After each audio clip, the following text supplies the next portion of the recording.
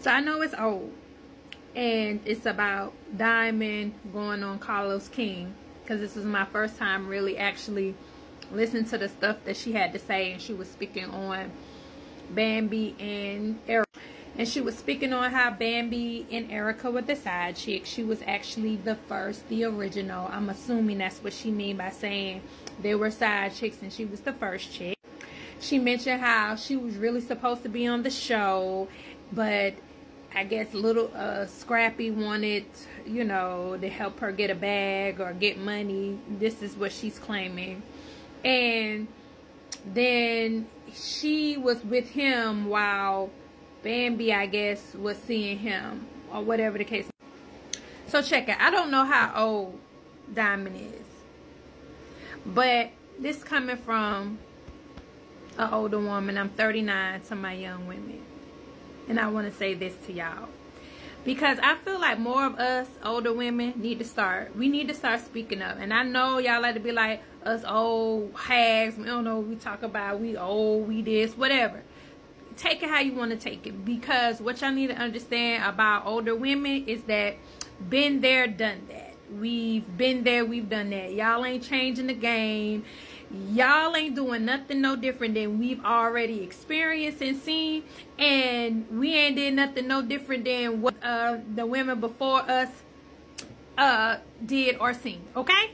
Nothing no so i say all of that to say if you're sitting here as a woman and saying you are the first and the other women were side chicks but he didn't choose you to go on the Love and Hip Hop show. He chose the other woman, the side chick you claim. He brought her on the show. He gave her a platform. He became engaged to her. And then the second woman you claiming is the side chick, Bambi. He, once again, brought her on the platform he married her. He had three kids with her. Y'all gotta know when when when a flex is a flex. And baby, that's not a flex. You screaming, and I don't mean screaming in the literal sense, but making noise about who you are and your position to this man means nothing if he's not going to sit right there beside you and confirm what you're saying or make noise. And when I say sit beside, I'm not talking literally sit, but I'm just saying he's going to uh, stand beside what you said. He's going to reiterate what you said. It's going to be like a united front in what you're saying. If he's not doing any of that, you making noise for no reason. That's for one. For two, if you claiming to be the first, but he keeps putting these women in positions and pushing you to the side, he has every opportunity to marry you, but he doesn't. He has every opportunity to bring you on the reality show, but he doesn't. That is telling. So I'm saying this to say, know when a man don't want you like that. And I feel like we get very confused because as women, we like to lie to ourselves. We don't need a man to lie to us because we will lie. We will lie to ourselves due to our own ego and our own pride, due to not feeling like we weren't chosen, like we wasn't the number one. Hence why we have to make everybody realize and know we were the number one, but you wasn't, sweetheart. You wasn't the number one for him. And it does not mean that you ain't number one. You are number one. You are number one. You just ain't the first round pick for him. But you number one for you and you number one for somebody else out there. You don't have to beat the drums to make somebody, to make people see that, oh, he really does value me. No, he really don't. Because at every option and chance he had to put you on a pedestal, to choose you, to put you on a platform, to marry you, to, to be engaged and have and put you on and speak about you and co-sign everything you were saying, he hasn't.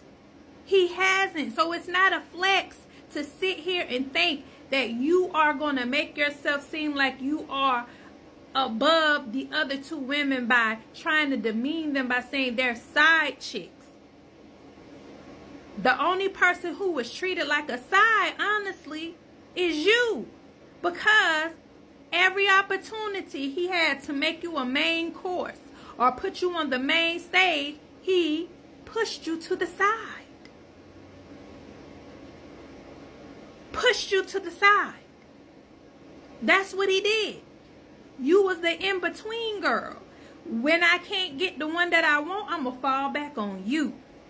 And I'm going to use you because you're going to make yourself available and accessible to me. And when I get filled up on all of the good positive energy you're going to give me to make me feel good, destroy my ego, I'm going to push you to the side. And then I'm going to have the confidence enough to go for the woman I really want. Think we have just as a hard time of being rejected as men do. We just display it in different ways. Men may cut up, call you out your name, and whatever the case may be. But we have a problem being rejected too because we don't like to own and face the fact that a man is not interested us in us in that way. He don't want you in that way. And I can relate because I know. I knew when a dude wanted me in a particular way and I knew when the dude didn't. I knew when the dude was going to toy with me and play with me and I was fun to play with. But I was not or would I ever be the one he wanted to bring home to his mama, to his daddy, to his family. I wasn't the one he wanted to claim. I wasn't the one. I wasn't. That's not what he wanted from me. And and and I had to recognize that. And I had to realize that just because he didn't want me, it did not change my worth nor my value. Just because he didn't want me in that way, it didn't make me any less of a woman. It just means that I ain't for him. And he ain't for me. Can't possibly be for me if you can't see what what my worth. Because my worth is never going to deplete. My worth ain't going nowhere. Who i am is going to be that's the value i hold regardless if you see it or not. Not my problem if you don't see it. If you don't see the value in me cool moving on. Learn to say cool moving on. Stop fighting with other women trying to diminish other women because this man has sit here and made you believe that you're not valuable because you don't believe you valuable because you're sitting up here taking whatever crumbs he giving you. Every time he lure you back in you coming thinking that he finna put you in that number one spot and he just gonna put you on hold again because he really don't want you he don't. Not in the way that you are expecting. He don't want you that way. He sees you. He see it. He don't want it. He see it. He don't want it. When we going to realize that? When are we going to understand that? If a man is not putting you on a pedestal, it's because he don't want to. If a man ain't being romantic to you, it's because he don't want you. If a man ain't wining and dining you, it's because he doesn't want you.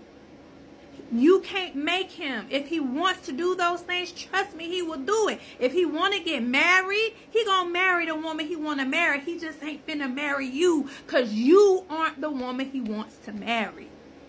So let's stop sitting here trying to think we flexing by trying to conjure up the the positions we believe we play in a man's life. Oh, I was here first. I was there. I don't care if you was here first, second, third, and last. He done told you and showed you what you mean to him. Wake up. Wake up. We need to stop lying to ourselves. That's little girl behavior. We got to stop with the little girl behavior.